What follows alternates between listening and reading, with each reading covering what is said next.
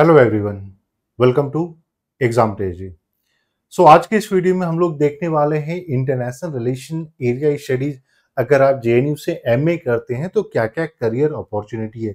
क्योंकि बहुत सारे ऐसे स्टूडेंट हैं जिनका हमेशा कॉल आता है, ये पूछता है कि, सर, क्या इसके बाद जो है एम ए करने के बाद क्या क्या बेनिफिट है? कौन कौन सी अपॉर्चुनिटी है जो ओपन हो जाती है? हम कहाँ कहाँ अप्लाई कर सकते हैं? सो so, आज के इस वीडियो में हम लोग इसी के बारे में डिटेल में डिस्कस करेंगे। सो so, जितने भी ऐसे कैंडिडेट हैं जो आप लोग 2024 में आप लोग प्लान कर रहे हैं फॉर एग्जांपल कि M international relation and area studies में एडमिशन लेने का तो इस चीज़ को आपको ध्यान से देखना है। सो 2025 के लिए जो है अब जो है आपको प्रिपरेशन करनी है। सो so, और इसके अलावा भी यहाँ पे जो भी चीज़ें हम लोग डिस्कस करेंगे आप ध्यान से देखिएगा। और इसके ऐसा नहीं है कि जो करियर अपॉर्चुनिटीज़ हम लोग यहाँ पे डिस्कस कर रहे हैं उसको कैसे अवेल किया जाए? क्योंकि एक तो ये चीज़ हो जाती है जो हम लोग डिस्कस कर रहे हैं। अब इस ये सारे अपॉर्चुनिटीज़ अवेलेबल है। अब उसमें पार्टिसिपेट कैसे किया जाए? उसको रियलाइज़ कैसे किया जाए? तो उसके बारे में भी हम लोग सेपरेटली डिस्कस करेंगे। सो so, सबसे पहला जो हो जाता है कि आप जो है एमए करने के बाद जो है फिर आप यूजीसी नेट जी कर सकते हैं। और इसके बाद फिर आप एकेडमिया के रूप में आप कॉलेज या फिर यूनिवर्सिटी आप ज्वाइन कर सकते हैं। लेकिन यहाँ पे एक चीज़ जो आपको ध्यान में देनी है कि अगर जब आप आईआर से करते हैं तो आईआर एक स्पेशलाइज्ड कोर्स है। तो मच बेटर होता है कि आप इसमें जो है पीएचडी करें। आप आफ्टर एमए भी करने के बाद आप यूजीसी नेट जो है क्रैक करके आप असिस्टेंट प्रोफेसर के लिए एलिजिबल हो जाते हैं।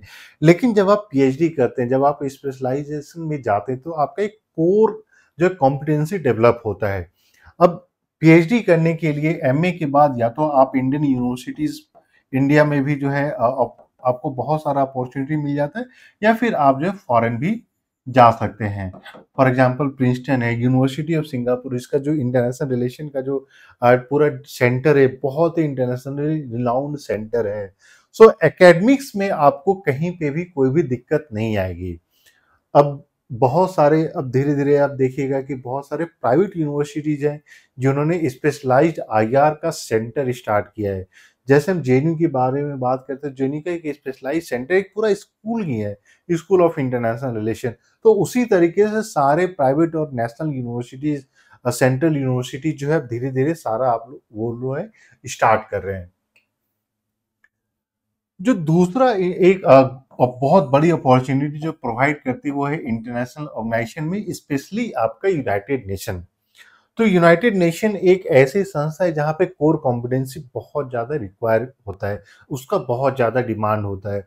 तो बहुत सारे स्टूडेंट जो, अगर हम जेएनयू की बात करें जेएनयू की बात करें, जिन्होंने आईआर या पीआईएसएम से उन्होंने मास्टर्स किया है तो जस्ट आफ्टर मास्टर्स भी आप लोग यूनाइटेड नेशन के कोर जो ऑर्गेनाइजेशन से वहाँ पे आप अप्लाई कर सकते हैं।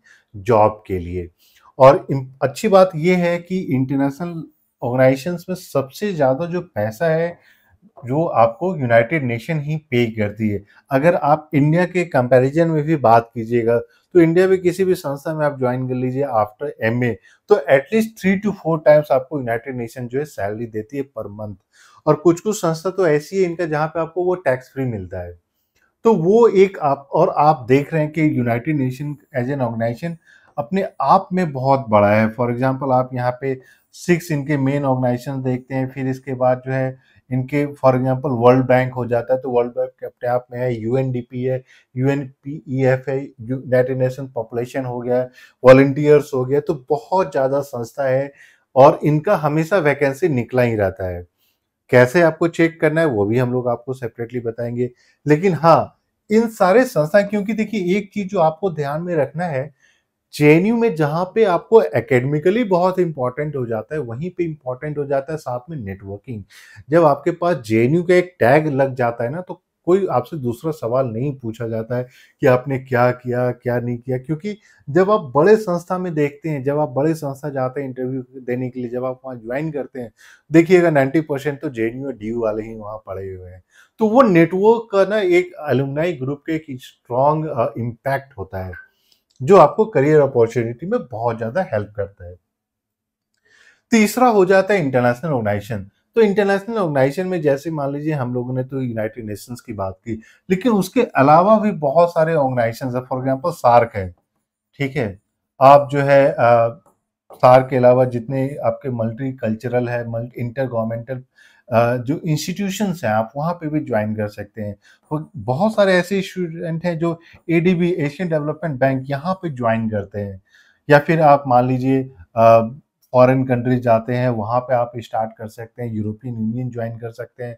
बहुत सारे आपके जो, जैसे अगर आप यूएस एड की बात करते तो वो लोग क्या करते हैं कि इंडियंस को एम्प्लॉय देते हैं सो दैट इंडियन स्टूडेंट्स को हायर करते हैं एज इंटर्नशिप प्रोग्राम भी, या फिर आप फुल टाइम वहाँ पे हायर किया जाता है सो दैट यूएस एड का जो इंडिया में प्रोग्राम है, उसको कंट्रोल किया जाए, उसको मॉनिटर किया जाए।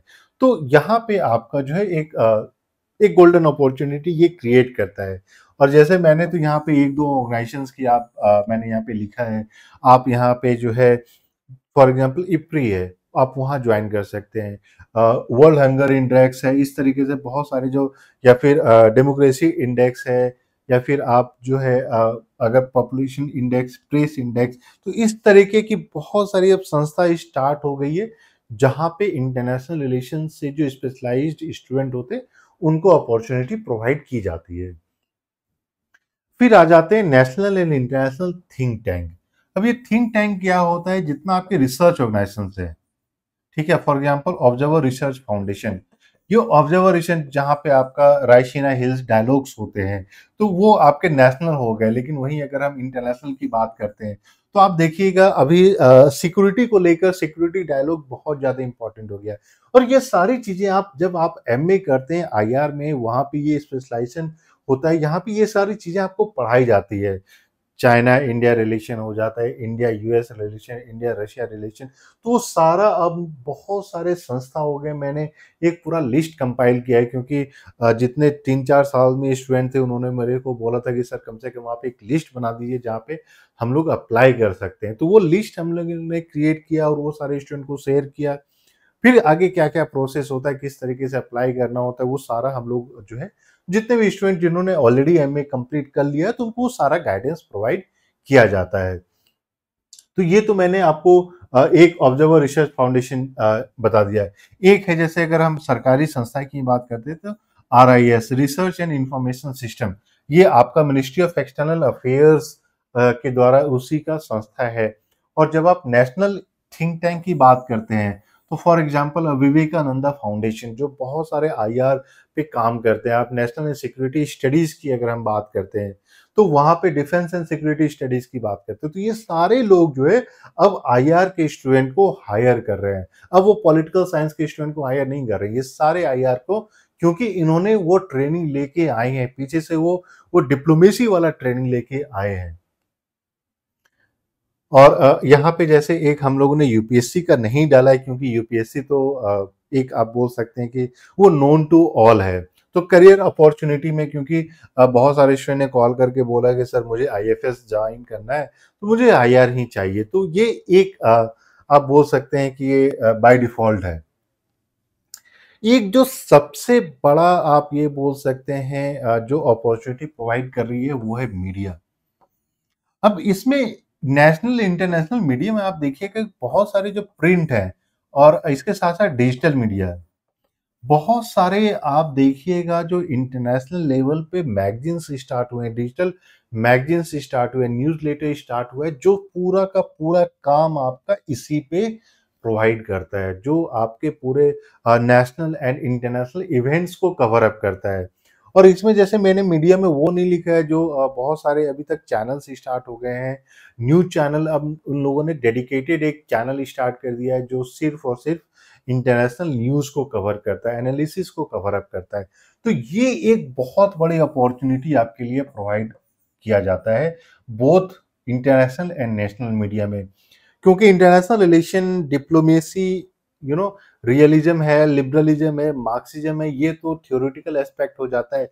लेकिन अब सबका मिक्सचर हो चुका है। तो इस चीज़ में क्योंकि अभी आप रिसेंटली देखिएगा जयशंकर जी से सवाल ये पूछा गया था कि एक तरफ़ जो आप जो है रशिया से ऑयल बाय कर रहे हैं और दूसरा जो है यूक्रेन से आप जो है विज़िट कर रहे हैं। तो उसको किस तरीके से आप हैंडल कीजिएगा? तो ये सारा डिप्लोमेसी में अब इंपॉर्टेंट हो गया। आप इस पर भी देखिएगा, बहुत सारे डिबेट जो हो रहे हैं, वो स्पेशलाइज लोगों को बुला रहे हैं। इस पर जो आर्टिकल्स लिखे जा रहे हैं। अब क्या है कि डिजिटल मीडिया में कोई लिमिटेशन नहीं रहा। जैसे प्रिंट मीडिया में एक लिमिटेशन होता था कि मेरा एक पेज या दो पेज ही इंटरनेशनल अफेयर्स को कवर अप करेगा। लेकिन जब हम डिजिटल मीडिया में जाते हैं तो वहाँ पे कोई लिमिटेशन नहीं है। मल्टीपल आर्टिकल्स वहाँ पे ओरिजिनेट हो रहे हैं और ये एक गोल्डन अपॉर्चुनिटी प्रोवाइड करता है कि आप वहाँ पे ज्वाइन करें। लेकिन ये सारे कैरियर अपॉर्चुनिटी जो है वो उसी समय हो सकता है जब आप जेएनयू ज्वाइन करते हैं एम ए आई आर अगर आप जेएनयू ज्वाइन नहीं करते एम ए आई आर में, फिर आप ये सारे करियर अपॉर्चुनिटीज़ को भूल जाइए। क्यों? क्योंकि अगर आई आर की बात है तो जेएनयू का M A I R based है। और इसीलिए भी बेस्ट है और सबसे ज़्यादा कंपटीशन है क्योंकि यहाँ पे सिर्फ़ और सिर्फ़ 50 सीट है और ये 50 सीट सारा रिज़र्व कैटेगरी जनरल कैटेगरी सभी को मिला के है। तो आप समझ सकते हैं कंपटीशन कितना ज़्यादा है। तो प्रिपरेशन करने के लिए अगर आप चाहते हैं, अगर आप सीरियस कैंडिडेट हैं, आप चाह रहे हैं कि हाँ दो साल, तीन साल में जो है अब ज्वाइन करना है इंटरनेशनल मीडिया और ये चीज़ जो मैं हम लोगों ने यहाँ पे डिस्कस किया, अभी तीन लड़कियाँ लास्ट ईयर जो है उनसे हम हम लोगों, उन्होंने पहले ही जो है लास्ट ईयर उन लोगों ने M A I R complete किया था। उन्होंने जो है यूके में जाके ऑर्गेनाइजेशन ज्वाइन किया है डिजिटल मीडिया का। जो जहाँ पे एनालिसिस पूरा होता है तो वो एक गोल्डन अपॉर्चुनिटी जो है, आप बोल सकते हैं कि प्रोवाइड किया जा रहा है। सो so, और किस तरीके से आप अप्लाई कर सकते हैं इन सब के बारे में हम लोग सेपरेटली डिस्कस करेंगे। यूजुअली जितने स्टूडेंट इंटरेस्टेड होते हैं उनको हम लोग जो है सारा लिंक प्रोवाइड करते हैं जो अपॉर्चुनिटी होती है जॉब ओपनिंग्स होती है उसके लिंक प्रोवाइड करते हैं। सो so, उसमें भी हम लोग हंड्रेड परसेंट गाइडेंस देते हैं। लेकिन सब कुछ उसी समय क्लियर होगा जब आप जो है M A I R J से अपना स्टार्ट करते हैं। और जेएनयू सबसे ज़्यादा कॉम्पिटेटिव है। इसीलिए एग्ज़ाम टेजी की तरफ़ से सेकेंड ऑफ़ सितंबर में जो है ऑनलाइन क्लासेस स्टार्ट की जा रही है। और ये क्लासेस जो है हम लोगों का मेन फोकस जे होता है। तो इसके लिए आपको कॉल करना होगा number eight four four eight eight seven eight eight four nine आप इस नंबर पे कॉल या मैसेज कीजिए क्लास के बारे में आपको सारा डिटेल्स दिया जाएगा। और जो क्लासेस हम लोग प्रोवाइड करते हैं, थोड़ा सा आपसे हार्डवर्क कराया जाएगा, क्योंकि जब आप हम लोग भी हार्ड वर्क करते हैं, आपको बहुत ज़्यादा question bank test series previous papers सब कुछ apart from the online classes recorded lectures study material इसके अलावा भी आपको बहुत ज़्यादा कभी आपको चांसेस समय नहीं मिलेगा। क्यों? क्योंकि ये वन टाइम अपॉर्चुनिटी है। अगर आप जे ज्वाइन करते हैं तो ये आपके लिए बहुत सारे विंडो ओपन कर देता है। तो इस चीज़ को आपको ध्यान में रखना है। फटाफट आप कॉल या मैसेज कीजिए। क्लास के लिए आपको सारा कुछ बताया जाएगा कि क्लास का कंटेंट क्या है किस तरीके से क्वेश्चन बैंक स्टडी मटेरियल सब कुछ प्रोवाइड किया जाता है उसका क्या क्वालिटी होता है आप भी चेक कर सकते हैं। सो so, इसके अलावा भी आपके पास कोई क्वेश्चन है क्वेरी है तो आप कॉल या मैसेज कर सकते हैं। अगर आप न्यू है इस चैनल पे तो प्लीज़ चैनल को सब्सक्राइब कर लें और नोटिफिकेशन बेल भी दबा लें सो दैट जितने भी इंपॉर्टेंट अपडेट्स हैं वो सारा आपको मिलता रहे। और वीडियो को पसंद आया तो प्लीज़ वीडियो को भी लाइक कर दें। So thank you and we wish you all the very best.